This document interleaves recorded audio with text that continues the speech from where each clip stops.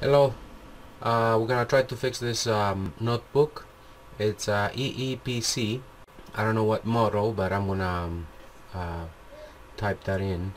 I'm having problems um, uh, booting up, and I already uh, tried to fix that um, NTFS uh, .syst file, and it didn't work. So what I'm gonna try to do is I'm going to um, restore to the um, factory settings. And to do that we're going to restart the computer. We're going to restart the uh, notebook and we're going to press F2 press F2 until you get to your BIOS setup.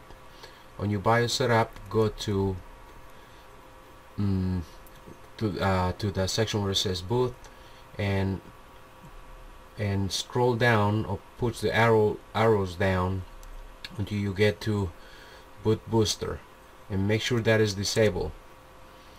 Okay it was enable so make sure it's disabled. So I'm gonna press enter once I'm there it's highlighted and select with the arrows up and down disable it has to be disabled okay? And we're gonna press F10 so that will save and exit.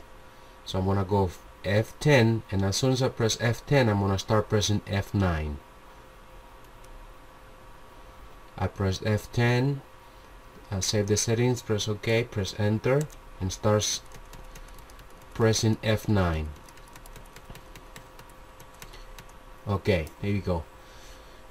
So we are going to uh, restore to factory settings.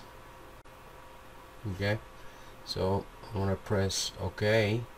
Okay this one you will lose all your uh, data during the system recovery. So make sure you back up so I was able to back up my files uh, earlier and um, but I couldn't fix that um, file. I couldn't even replace it. So right now I have all my files and I'm going to restore to factory settings.